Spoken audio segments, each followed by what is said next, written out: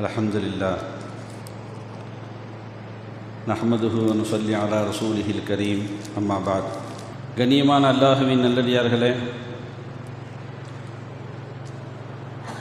நபிகள் நாயகம் சல்லல்லாஹு அலைஹி வசல்லம் அன்னவர்கள் பல துறைகளுக்கு நமக்கு வழிகாட்டி தந்திருக்கின்றார்கள் பாடம் நடத்தி காட்டியிருக்கின்றார்கள் நாம் அடிக்கடி உங்களுக்கு நினைவுபடுத்துவது அதுதான் இஸ்லாத்திற்குள்ளே ஹதீஸுக்குள்ளே குர்ஆனுக்குள்ளே ஏதாவது ஒரு ஐயப்பாட்டை உள்ளத்திலே வைத்து நீங்கள் துறந்து பார்த்து அதற்கு தீர்வு கிடைக்கவில்லை என்பதாக யாராலும் திரும்பி செல்ல முடியாது. ஒரு கால் நம்மளுடைய அறிவுக்கு வேண்டா வேண்டுமானால் புலப்படாமல் இருக்கலாம். ஆனால் உலகத்தில் எந்த பிரச்சனையாக இருக்கட்டும் எதுவாக இருக்கட்டும் நீங்கள் உள்ளே நுழைந்து பார்த்தால் அழகான முறையில் நமக்கு குரானும் ஹதீஸும் நம்மளுடைய மார்க்கமும் வழிகாட்டி தரும். அந்த அடிப்படையில் உலக உலகத்திலே இருக்கக்கூடிய கழிவறை தொடர்பான பதினைந்து நாடுகள் ஒன்றாக சேர்ந்து இரண்டாயிரத்தி ஒன்றில் எல்லா நாடுகளும் பதினைந்து அமைப்புகள் பதினைந்து நாட்டினுடைய அமைப்புகள் கழிவறை தொடர்பான அமைப்புகள். எல்லாம் ஒன்று சேர்ந்து இரண்டாயிரத்தி ஒன்றில் நவம்பர் பத்தொம்போதை உலக கழிவறை தினமாக அவர்கள் தெரிவித்தார்கள் அறிவித்தார்கள். நவம்பர் பத்தொம்போது வேர்ல்டு டாய்லெட் டே. உலக கழிவறை சர்வதேச உலக கழிவறை தினம் என்பதாக அனுஷ்டிக்கப்பட்டு வருகிறது. இந்த நேரத்தில் கழிவறையெல்லாம் ஒரு தலைப்பா? மலஞ்சலமெல்லாம் ஒரு தலைப்பா? என்பதாக எண்ணிக்கொள்ளாதீர்கள்.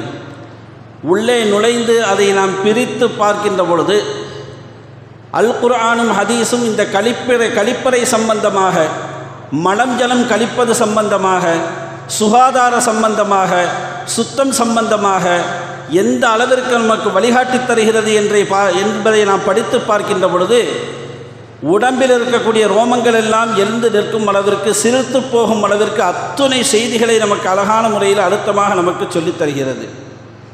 அனைத்து காரியங்களிலேயும் நமக்கு இஸ்லாம் வழிகாட்டி தருகிறது. அதே அடிப்படையில் பல ஒழுக்கங்களையும் நமக்கு கற்றுத்தருகிறது அந்த ஒழுக்கவியல் பாட பாடத்திட்டத்தில் நமக்கு மிக முக்கியமாக கழிப்பறை சம்பந்தமாக மலம் ஜலம் கழிக்கும் சம்பந்தமான உண்டான பாடத்தை மிக தெளிவாக அழகான முறையில் நம்முடைய தலைவர் முகமது நபி சல்லல்லாஹு அலைஹி வசல்லம் அவர்கள் அழகாக நமக்கு விளக்கி தருகிறார்கள். சங்கைக்குரியவர்களே இந்த பதினைந்து நாட்டினுடைய அமைப்புகள் ரெண்டாயிரத்தி ஒன்றில் ஒன்று கூடியதனுடைய நோக்கம் என்ன என்றால் அடிப்படை விஷயங்களை சுலகத்திலே சரி செய்ய வேண்டும். கழிவறை பல நாடுகளிலே இல்லாமல் இருக்கின்றது. அதை சரி செய்து கொடுக்க வேண்டும். அது மட்டுமல்ல மக்களுக்கு இது சம்பந்தமான விழிப்புணர்வை ஏற்படுத்தி சுகாதாரமற்ற நிலைமையில் நாம் வாழ்ந்தோம் என்றால் சுத்தமில்லாமல் நாம் வாழ்ந்தோம் என்றால் எத்தனை விதமான நோய்கள் நமக்கு ஏற்படுகிறது என்ற விழிப்புணர்வை இந்த உலகத்திற்கு சொல்ல வேண்டும் என்பதற்காக வேண்டிதான் இந்த வேர்ல்டு டாய்லெட் டே என்பதாக நவம்பர் பத்தொம்போதே அவர்கள் அறிவிப்பு செய்கின்றார்கள். நமக்கு ஐக்கிய நாட்டினுடைய சுகாதாரத்துறை சில குறிப்புகளை நமக்கு தருகிறது.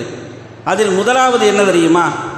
உலகத்தில் வாழ்கின்ற மக்களில் சரிபாதி அதாவது நானூற்றி இருபது கோடி பேர் உலகத்தில் கழிவறை இல்லாமல் வாழ்கின்றார்கள் என்ற ஒரு குறிப்பையும் புள்ளி விவரத்தையும்.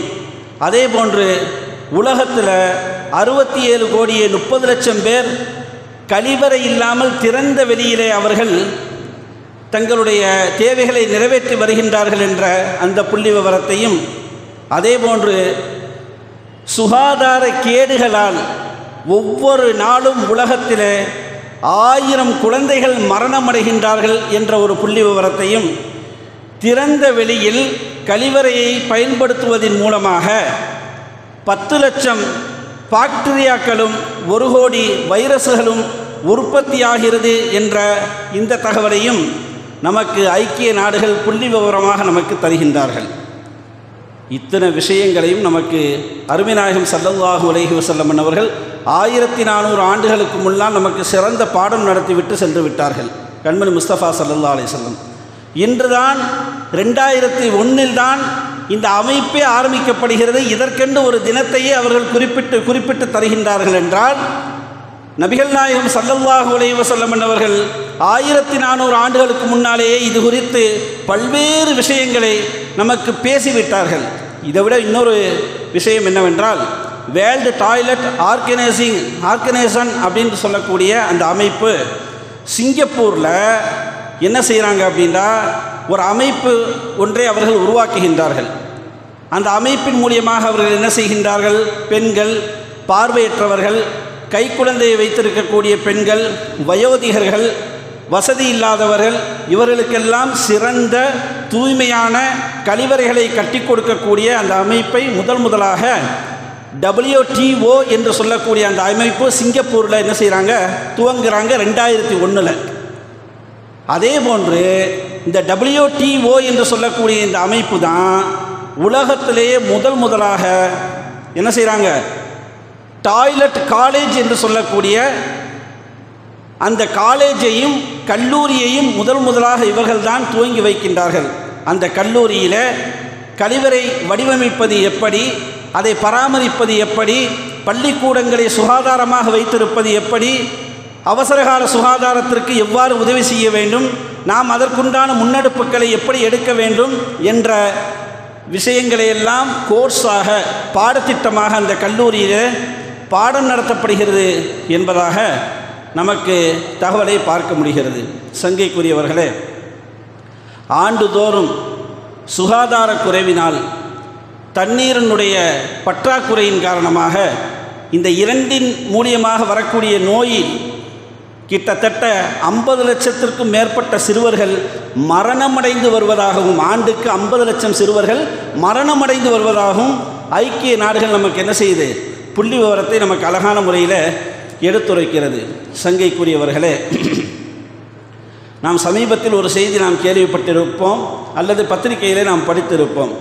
சத்தீஸ்கர் மாநிலத்தில் நூற்றி ஐந்து வயதுடைய ஒரு மூதாட்டியர் பெண்மணி அந்த பெண்மணி குனிவா குன்வா பாய் என்று சொல்லக்கூடிய குன்வர் பாய் என்று சொல்லக்கூடிய அந்த பெண்மணியுடைய பெயர். அந்த பெண்மணி என்ன செய்கிறாள்? தான் உழைத்து கொண்டிருக்கக்கூடிய தொழில் செய்து கொண்டிருக்கக்கூடிய ஆட்டு மெந்தைகளை விற்று அவர் அங்கு புதிதாக கழிவறை ஒன்றை கட்டுகிறார். அந்த பெண்மணியை அழைத்து பிரதமரெல்லாம் விருது கொடுத்தார்கள் என்பதாக பத்திரிகையில் நாம் படித்திருப்போம். இப்படி கழிப்ப கழிப்பறை குறித்து கழிப்பறையிலே செல்லக்கூடிய நபர்கள் எவ்வாறு அங்கு நடந்து கொள்ள வேண்டும் என்ற ஒழுக்கத்தை குறித்து இன்று ரெண்டாயிரத்தில் ஒன்றில் வேண்டுமானால் அவர்கள் அதனுடைய விழிப்புணர்வை கொடுக்கலாமே தவிர நமது நாயகம் சல்லல்லாஹு அலைஹி வஸல்லம் அவர்களும் நம்முடைய அழகான இஸ்லாமிய மார்க்கமும் அழகான முறையில் ஆயிரத்தி நானூறு ஆண்டுகளுக்கு முன்னாலேயே நமக்கு அழகான பாடத்தை நடத்திவிட்டார்கள் சல்மான் ஃபாரசி ரதியல்லாஹு அன்ஹு என்று சொல்லக்கூடிய ஒரு சஹாபி அவர்களிடத்தில் ஒரு இணை வைப்பாளர் முஷ்ரிக் வந்து கேட்பார் குல்ல ஷெய்யின் ஹத்தல் ஹிரா இத்த கது அல்லமக்கும் நபியுக்கும் அவர் கேட்ட கேள்வி அதுதான். என்ன கேட்குறாரு? உங்களுடைய நபி என்று நீங்கள் சொல்கிறீங்கள அந்த நபி எல்லா விஷயங்களையும் உங்களுக்கு கற்றுக் கொடுத்தார். இந்த கழிப்பறை மனஞ்சலம் விஷயமாகவுமா உங்களுக்கு கற்றுக் கொடுத்தார்? என்ற ஒரு கேள்வியை அந்த நபர் கேட்பார். ஒரு கிண்டலாக ஒரு கேலியாக இந்த விஷயத்தை என்ன செய்கிறாரு? அவர் கேட்கிறாரு. உட உடனே சல்மானுல் ஃபாரசி ரதியல்லாஹோனுகன் அவர்கள் அழகாக பதில் சொல்லுவார்கள். அஜல் ஆம் எங்களுக்கு எங்களுடைய தலைவர் சல்லல்லாஹு அலைஹி வசல்லமன் அவர்கள் மலம் ஜலம் கழிக்கும் முறையையும் எங்களுக்கு கற்றுக் கொடுத்தார்கள். கழிவறை சம்பந்தப்பட்ட ஒழுக்க நெறிகளை எங்களுக்கு மேம்படுத்தி கொடுத்தார்கள். எப்படி தெரியுமா? நஹானா அன் நஸ்தக்பிலல் கிபலத பிகாயத்தின் அவு பவுலின் சல்லல்லாஹு அலஹி வஸல்லம் அவர்கள் நாங்கள் மலம் ஜலம் கழிக்கின்ற அந்த வேளையில் கிபிலாவை நீங்கள் முன்னோக்கி அதை நீங்கள் செய்ய வேண்டாம் என்ற அளவிற்கு வரைக்கும் எங்களுக்கு அந்த ஒழுக்க நெறிமுறைகளை எங்களுக்கு கற்றுக் கொடுத்தார்கள் என்பதாக சல்மானுல் ஃபாரசி ரதியல்லாஹுனுகன் அவர்கள் அந்த முஷரிக்கு சொல்லி பதில் கொடுத்து அவர்களை அனுப்புவார்கள்.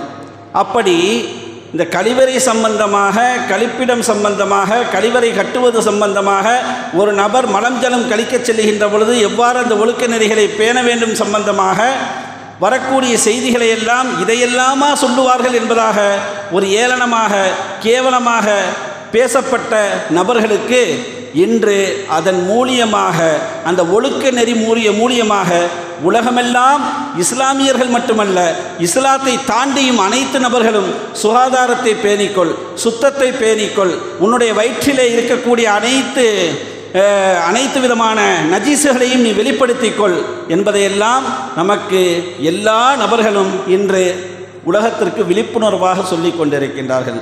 சங்கைக்குரியவர்களே நாம் இஸ்லாத்தினுடைய பார்வையில் இன்றைக்கி நம்ம உள்ளே வந்துட்டோம். வெளியினுடைய நிலைமைகளை எல்லாம் நம்ம பார்த்தோம். நம்மளுடைய மார்க்கத்தில் மலஞ்சலம் கழிக்கக்கூடிய அந்த நபருக்கு அந்த நபர் பேண வேண்டிய ஒழுக்கங்கள் என்ன? மார்க்கம் எப்படி மலம் ஜலம் கழிக்க வேண்டும் என்ற ஒழுக்க நெறிமுறைகளை கிட்டத்தட்ட ஒரு பதினாறு நெறிமுறைகளை நமக்கு சொல்லித் தருகிறது. அதைவிட கூடுதலாகவும் இருக்கிறது. பொறுக்கி எடுத்து ஒரு பதினாறை மட்டும் இன்ற ஜுமாவிலே நாம் பார்த்து விடலாம். பதினாறு நெறிமுறைகள்.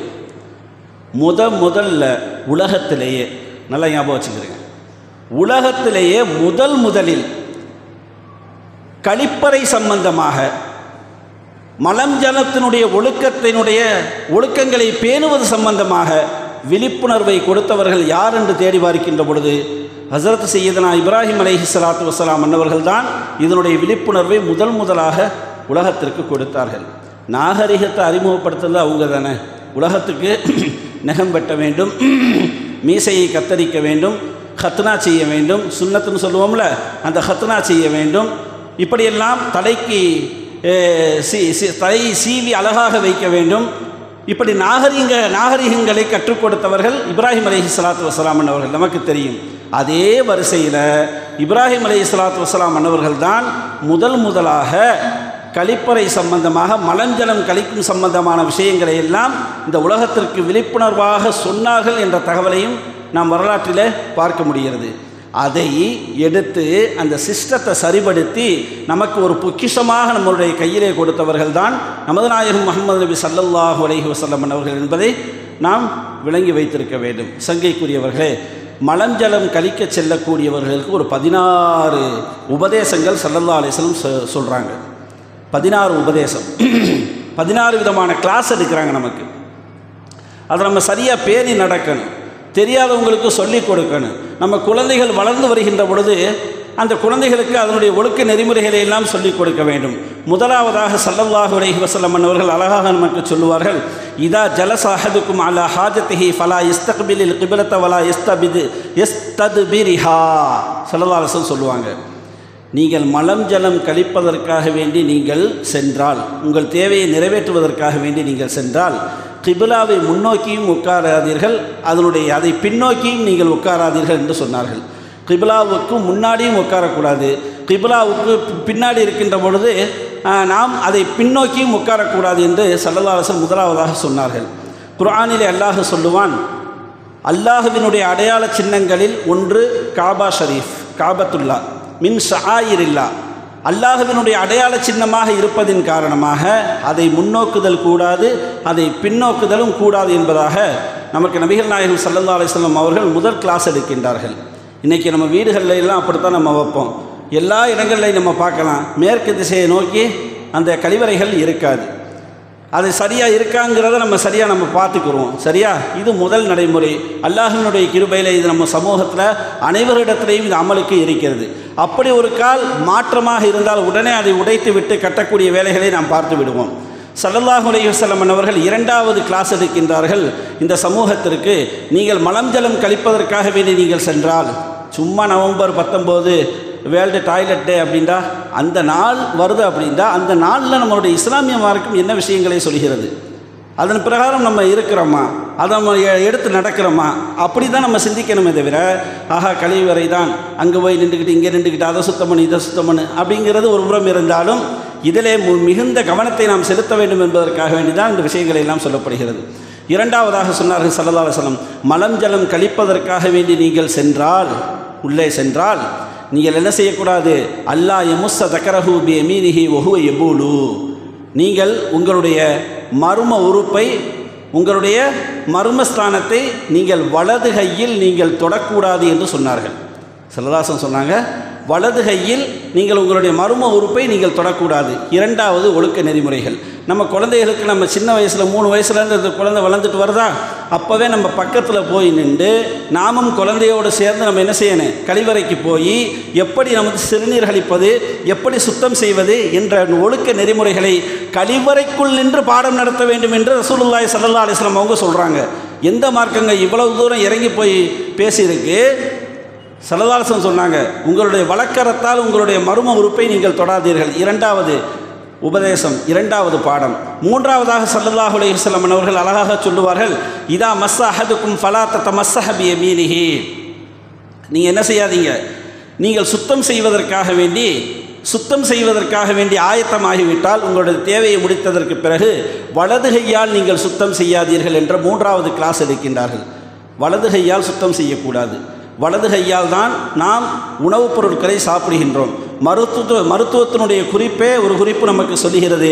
வலது கையிலிருந்து ஒரு விதமான ஒரு அமிலம் சுரக்கிறது என்பதாக மருத்துவ குறிப்பும் நமக்கு சொல்கிறது அப்போ இடதுகை என்பது அசுத்த அசுத்தத்தை நீக்குவதற்கு சில பல சடல்லாஹுடைய சில மன்னர்கள் சொல்லித்தந்த விஷயங்களுக்குத்தான் இடதுகையை பயன்படுத்த வேண்டும் என்ற விஷயத்தையும் நாம் கவனத்தில் வைத்துக்கொள்ள வேண்டும். அப்போ சுத்தம் செய்கின்ற பொழுது ஃபலாத்த தமசஹபி எமீனிகி வழக்கரத்தை கொண்டு நீங்கள் சுத்தம் செய்யாதீர்கள் என்ற மூன்றாவது பாடம். நாலாவதாக ரசூலுல்லாய் சல்லல்லாஹு அலைஹி வசல்லம் அன்னவர்கள் சொன்னார்கள் நீங்கள் மலம் ஜலம் கழிப்பதற்காக வேண்டி நீங்கள் உள்ளே சென்றால் நீங்கள் உங்களை பாதுகாத்து கொள்ள வேண்டும் என்று சொன்னார்கள். அதென்ன உங்களை பாதுகாத்து கொள்ள வேண்டும்? மலம் ஜலம் கழிக்கின்ற பொழுது அந்த அசுத்த நீர்கள் நம்மளுடைய உடம்பிலே படாமல் நம் உடலை சூழ்ந்து நம்மை பாதுகாத்து கொள்ள வேண்டும். இதில் மிகுந்த கவனம் நீங்கள் எடுக்க வேண்டும். உதாரணத்துக்கு தொழுக வர்றோம் பள்ளிக்கு. பள்ளியில் போய் சிறுநீர் கழிச்சிட்டு வர்றோம். இல்லையா? சில நபர்கள் அமர்ந்து சிறுநீர் கழிப்பார்கள் முடியாதவர்கள் நின்று கொண்டு சிறுநீர் கழிப்பார்கள். அந்த நேரத்தில் அது தெரித்து நம்மளுடைய காலில் படாமல் நம்மளுடைய ட்ரெஸ்ஸில் இசில் பட்டுட்டு வந்து தொழுதம்னா தொழுகக்கூடுமா? அதில் கவனம் எடுத்துக்கொள்ள வேண்டும் என்பதாக நாலாவது ஒழுக்க நெறிமுறையை சல்லல்லா அலிஸ்லாம் அவங்க சொல்லித்தர்றாங்க அடுத்ததாக அஞ்சாவதாக நமக்கு சொன்னார்கள் நீங்கள் மலம் ஜலம் கழிப்பதற்காக வேண்டி நீங்கள் சென்றால் பிறருடைய பார்வை பாடாத அளவிற்கு நீங்கள் இடத்தை தேர்வு செய்து கொள்ளுங்கள் என்று சொன்னார்கள். இன்றைக்கி பஸ் ஸ்டாண்டில் ரயில்வே ஸ்டேஷனு ஏர்போர்ட்டு இங்கெல்லாம் பார்த்தா உட்காந்து போகாத அமைப்பில் தான் அங்கே வந்து டாய்லெட்டே கட்டி வச்சுருக்காங்க. உட்காந்து சிறுநீர் கழிக்கவே முடியாது. நின்று கொண்டு கழிக்கக்கூடிய அமைப்பில் தான் அங்கே இருக்கு. அது மட்டுமல்ல பக்கத்தில் நின்று அவரவர் அந்த முகத்தை பார்க்கும் அளவிற்கு நின்று கழிக்கக்கூடிய ஒரு அமைப்பும் அங்கே இருக்கிறது. இது கூடாதுங்கிறது இஸ்லாம். இஸ்லாம் என்ன சொல்லுது? இது கூடாது. ஒருவர் சிறுநீர் கழிக்கின்றார் அல்ல மலஞ்சலம் கழிக்கின்றார் அப்படிப்பட்ட அந்த சூழ்நிலையில் யாரும் யாரையும் பார்க்க முடியாத இடமாக அது இருக்க வேண்டும் என்பதாக நமக்கு அழகான ஐந்தாவது பாத பாடத்தை நடத்தி காட்டுகிறது. அடுத்த ஆறாவதாக நீங்கள் மலம் ஜலம் கழிப்பதற்காக வேண்டி நீங்கள் உள்ளே சென்றால் உங்களுடைய ஆடையை கலட்டும் நேரம் மிக குறைவான நேரமாக இருக்க வேண்டும் என்று சொல்கிறாங்க சல்லதாலேசனம் சில பேரை பார்த்தா பள்ளிவாசல்லேருந்து உள்ளே வரும்போதே டக்குன்னு கையிலேயே தூக்கிட்டு முட்டி வரைக்கும் தூக்கிட்டு அப்படியே நடந்து போயிடுவாங்க. அப்படிலாம் செய்யக்கூடாது. வீடுகள்லையும் சரி போகிறதுக்கு முன்னாடியே டக்குன்னு தூக்கிட்டு என்ன செய்கிறது முட்டியை தொடையை காட்டிக்கிட்டு அப்படியே சல்லுன்னு உள்ளே போயிடுறது. சிறுநீர் கழிப்பதற்காக வேண்டி மலஞ்சலம் கழிப்பதற்காக வேண்டி இல்லை. உள்ளே போனதற்கு பிறகும் அனைத்தையும் சரி செய்ததற்கு பிறகு நீங்கள் அந்த ஆடையை கலற்றி உங்களுடைய நஜீஸை வெளிப்படுத்தக்கூடிய அந்த நேரகாலம் இருக்கல்லவா? அது மிக குறைவான நேரகாலமாக இருக்க வேண்டும். என்று என்ன செய்கிறாங்க நபிகள் நாயகம் சல்லல்லாஹு அலைஹி அவர்கள் சொல்லித் தருகின்றார்கள். ஏன் தெரியுமா? மலக்குமார்கள் இல்லாத ஒரு இடம் இருக்குது அப்படின்னு நீங்கள் தேடி பார்த்தா குரான்லையும் ஹதீஸ்லையும் அது டாய்லெட் மட்டும்தான். டாய்லெட் கழிவறைக்குள் மலக்குமார்கள் இருக்க மாட்டார்கள். சரி மலக்குமார்கள் இல்லாத இடத்துல யாருங்க இருப்பா? ஷைத்தான். இபிலிஸ். அப்போ இபிலிஸு அவனுடைய பார்வையை கெட்ட ஜின்களும் அதனுடைய பார்வைகளை எப்படியாவது இவனை உள்ளத்திலே ஊசலாட்டத்தை போட்டு கெடுத்து விட வேண்டும் என்ற எண்ணத்தில் உள்ளே நின்று கொண்டிருக்கக்கூடிய அத்தருணத்தில் நம்ம இந்த மாதிரி ஒழுக்கக்கேடான விஷயங்களை நம்ம செஞ்சோம் அப்படின்றா அது மிகவும் முற்றிலும் தவறான ஒரு செயல் என்பதை அழகான முறையில் நமக்கு ஆறாவது ஒழுக்கமாக நமக்கு சொல்லித்தர்றாங்க அதை விட மிக முக்கியமாக நீங்கள் கழிவறைக்குள் செல்கின்ற பொழுது மலம் ஜலம் கழிப்பதற்காக வேண்டி நீங்கள் உள்ளே சென்றால் இந்த துஆவை நீங்கள் ஓதிக்கொள்ளுங்கள் அல்லாஹும் இன்னி அவுது பிக்கமில் ஹுபசி வல் ஹபாயஸ். பிஸ்மில்லாய் ரஹ்மான் ரஹீம் முன்னாடியே சொல்லிட்டு இந்த துவாவை நீங்கள் ஓதிக்கிறங்க யாரெல்லாம் கெட்ட ஜின்கள் செய்தான்களுடைய தீங்குதலை விட்டும் என்னை பாதுகாப்பாயாக. இதுதான் அந்த துவாவுடைய பொருள். பள்ளி குழந்தைகளுக்கெல்லாம் மனனம் செய்து நாம் கொடுப்போம். இந்த துவாவை நீங்கள் ஓதிக்கொள்ளுங்கள். இதை நீங்கள் ஓதிக்கொண்டு விட்டால் அல்லாஹினுடைய பாதுகாப்பு உங்களுக்கு கிடைக்கும். இது ஏழாவது ஒழுக்கம் என்பதாக ரசூலுல்லாய் சல்லாஹ் அலைஹி அவர்கள் சொல்லிவிட்டு எட்டாவது ஒழுக்கத்தை நமக்கு சொல்லுவார்கள். நீங்கள் மலம் ஜலம் கழிப்பதற்காக வேண்டி நீங்கள் உள்ளே சென்றால் நீங்கள் நஜீஸை வெளிப்படுத்தியதற்கு பிறகு உங்கள் தேவையை முடித்ததற்கு பிறகு சுத்தத்தை பரிபூரணமாக நீங்கள் சுத்தம் செய்துவிட்டு வாருங்கள் என்பதாக சொன்னார்கள் சல்லா அலிஸ்லம் முழுமையாக சுத்தம் செய்துவிட்டு வாருங்கள் அரைகுறையாக சுத்தம் செய்துவிட்டு வராதீர்கள் என்று ரசூலுல்லாய் சல்லல்லாஹு அலைஹி வஸல்லம் அவர்கள் சொல்வதிலிருந்து ஒரு செய்தியை நமக்கு ஹதீசனுடைய விரிவுரையாளர்கள் நமக்கு கொடுப்பாங்க. என்ன அப்படின்னா ஒரு சிறந்த மனிதன் அப்படிங்கிறதுக்கு ஒரு பெரிய உதாரணம் என்ன தெரியுமா? முன்னாடி ஒரு காலம் இருந்துச்சு. பெண் பார்ப்பதற்காக வேண்டி போகக்கூடியவங்க என்ன செய்வாங்கண்டா அந்த பெண்ணுடைய வீட்டினுடைய கழிவறைக்கு போவாங்க. அது ஒரு காலம். ஒரு வீட்டினுடைய கழிவறை நல்லா இருந்துச்சுன்னா அந்த குடும்பம் நல்லா இருக்குன்னு அவங்களுடைய பொருள் வச்சுருந்தாங்க. அப்படி ஒரு காலம் இருந்துச்சு. இன்றைக்கி நிறைய பேர் வெளியில் நம்ம நல்லா இருப்போம். கழிவறையினுடைய அந்த ஜக்கு அந்த வாளியும் பாலடைஞ்சு போய் கிடக்கு. அதில் கவனம் நமக்கு போகாது. வெளியில் எல்லாத்துலேயும் கவனம் இருக்கும் உள்ளே இருக்கக்கூடிய அந்த கழிவறையை சுத்தம் பண்ணணுமே அப்படிங்கிற க கவனம் இருக்காது. அப்போ பெண் பார்க்க செல்லக்கூடிய அந்த நபர்கள் ஒரு காலம் இருந்தது எதுவும் கேட்க மாட்டார்கள். உள்ளே சென்று கழிவறைக்கு போவாங்க நேராக போய் பார்ப்பாங்க அப்போவே விளங்கிடுவாங்க குடும்பம் அப்படித்தான் அப்படின்ட்டு. இல்லையா? அப்போ சல்லல்லா அலிஸ்லாம் அதைத்தாங்க நமக்கு பாடம் நடத்துகிறாங்க நேற்று முந்தா நேற்று நடத்தலை. ஆயிரத்தி நானூறு ஆண்டுகளுக்கு முன்னால் நபிகள் நாயகம் சல்லல்லா நடத்தி காட்டுகின்றார்கள். நீங்கள் கழிவறைக்கு நீங்கள் உள்ளே செல்கின்ற பொழுது நீங்கள் என்ன செய்யணும் பரிபூரணமாக சுத்தப்படுத்தி விட்டு வர வேண்டும். உடலை மட்டுமல்ல நம்மளுடைய கழிவுகள் வெளியான இடங்களை மட்டுமல்ல சூழ்ந்திருக்கக்கூடிய அனைத்தையும் சுத்தம் செய்து விட்டு வர வேண்டும். எப்படி போவதற்கு முன்னால் எப்படி இருந்ததோ அதைவிட ஒருபடி அழகான சுத்தத்தை அந்த கழிவறைக்கு கொடுத்து விட்டு நீங்கள் வர வேண்டும் என்று நாயகம் சல்லல்லாஹுடைய அலைஹி அவர்கள் அழகாக நமக்கு சொல்லுவார்கள் சொன்னார்கள். காரணம் என்ன தெரியுமா? வேதனையிலே கபருடைய வேதனையிலே மிக கடுமையான வேதனை எதுன்னு நீங்கள் ஹதீஸில் பார்த்தா இந்த கழிவறை சம்பந்தப்பட்ட வே வேதனை தான் சிறுநீர் கழித்து விட்டு ஒழுங்காக சுத்தம் செய்யலை அப்படின்னா அல்லாஹ் ஜல்லசானகத்தால் கடுமையான வேதனையை கொடுக்கின்றான் என்பதாக ஹதீஸ் நமக்கு சொல்லித் தருகிறது. அப்துல்லாஹிபின் அப்பாஸ் ரதி அல்லாஹன் அவர்கள் அறிவிக்கின்றார்கள் ரசூலுல்லாய் சல்லா அலிஸ்லாம் அவர்கள் இரண்டு கபரை கடந்து சென்றார்கள். இந்த ஹதீஸ் நீங்கள் கேள்விப்பட்டிருப்பீங்க. அப்போ ரெண்டு கபரை கடந்து செல்கின்ற பொழுது சொன்னார் சல்லா அலிஸ்லாம் வஹுமாலி அத்திபானி அப்படின்னாங்க இந்த ரெண்டு கபரில் உள்ளவங்களுக்கு வேதனை செய்யப்படுதுன்றாங்க. சஹாபாக்கள் விளக்கம் கேட்டார்கள். ஏன் யார சூழலா என்பதாக பெரிய விஷயம்லாம் சொல்லலை. ஒன்று சொன்னாங்க ஒருவர் சிறுநீர் கழித்து விட்டு ஒழுங்காக சுத்தம் செய்யவில்லை. உறுப்பை மட்டுமல்ல அவர் சூழ்ந்திருக்கக்கூடிய அனைத்தையும் சுத்தம் செய்யாமல் வந்துவிட்டார். அவருக்காக இவ்வளவு வேதனை கொடுக்கப்படுகிறது. இன்னொருவர் கோல் சொன்னவர் என்பதாக சரதாரசன் சொன்னாங்க. அப்போ நமக்கு எட்டாவது ஒழுக்கம் சலதாரசம் சொல்லித்தர்றாங்க இந்த மாதிரி நீங்கள் உள்ளே போனீங்கன்னா சரியான முறையில் நீங்கள் சுத்தம் படுத்தி கொள்ளுங்கள். அடுத்து சொன்னார்கள் சல்லல்லாஹு அலையம் அவர்கள் ஒன்பதாவது ஒழுக்கம் நீங்கள் காண எகசில முகாதுகு சலாசன் அந்த இடத்தை நீங்கள் மலஞ்சலம் கழித்ததற்கு பிறகு அந்த இடத்தை நீங்கள் மூன்று தடவை சொரசொரப்பு வரும் வரைக்கும் நீங்கள் கழுவி சுத்தம் செய்துவிட்டு வாருங்கள் என்று சொன்னார்கள். காரணம் அல்லாஹ் ஜல்லஷானஹத்தாலா சுத்தத்தை விரும்புகின்றான்.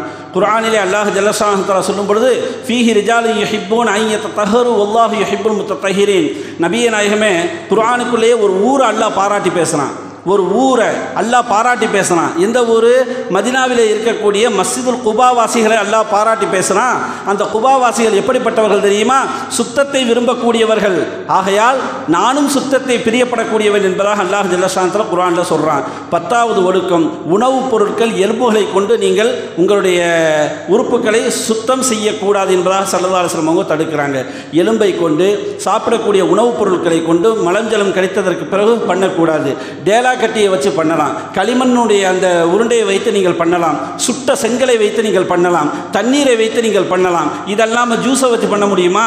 சர்பத்தை வச்சு சுத்தம் பண்ண முடியுமா? இப்போ இதெல்லாம் பண்ணக்கூடாது என்பதாக சல்லல்லா அலிஸ்லாம் அவங்க பத்தாவது ஒழுக்கமாக தருகிறார்கள். பதினொன்றாவது ஒழுக்கம் தேங்கி இருக்கக்கூடிய நீரிலே மலம் ஜலம் கழிக்காதீர்கள். பன்னிரெண்டாவது ஒழுக்கம் நீங்கள் நடமாடும் பாதையிலே நீங்கள் மலம் ஜலம் கழிக்காதீர்கள்.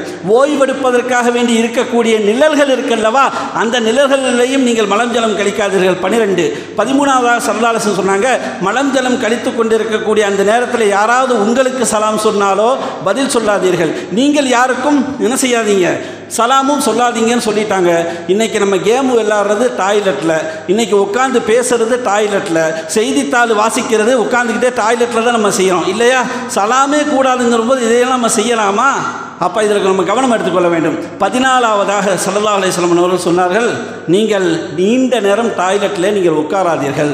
மனஞ்சலம் கழிக்கக்கூடிய கழிப்பதற்காக வேண்டி சென்றால் அதிக நேரத்தை நீங்கள் உள்ளே எடுத்துக்கொள்ளாதீர்கள் அப்படி எடுத்துக்கொண்டால் ஷெய்தானுடைய ஊசலாட்டத்திற்குள்ளே நீங்கள் சிக்கப்படுவீர்கள் என்பதாக சல்லா அலிஸ்லம் சொல்லிவிட்டு அடுத்து பதினைந்து சொன்னார்கள். நீங்கள் எக்காரணத்தை கொண்டும் சிறுநீரையும் மலஞ்சலத்தையும் நீங்கள் அடக்காதீர்கள். தொழுகை நேரம் வந்தாலும் அதைத்தான் நீங்கள் முதலிலே செய்ய வேண்டும். எதை? மலஞ்சலம் கழிப்பதை. தொழுகை அப்புறம். சாப்பாட்டு தயாராகி இருக்கக்கூடிய நேரத்தில் பசி எடுத்துருச்சு தொழுக நேரம் வந்துருச்சு. எதங்க செய்யணும் முதல்ல போய் சாப்பிட்டு வந்து தான் தொழுகணும் அதே மாதிரி தான் மலம் ஜலத்தை அடக்கக்கூடாது. அதனால் பலவிதமான நோய்கள் நமக்கு ஏற்படுகிறது என்று சொல்லிவிட்டு கடைசி ஒழுக்கமாக நமக்கு சொல்வார்கள் எல்லாத்தையும் முடிச்சுட்டு நீங்கள் கடைசியில் வெளியில் வரும்பொழுது ஒஃப்ரானக்க அப்படின்னு ஒதுக்கிடுங்க என்னது?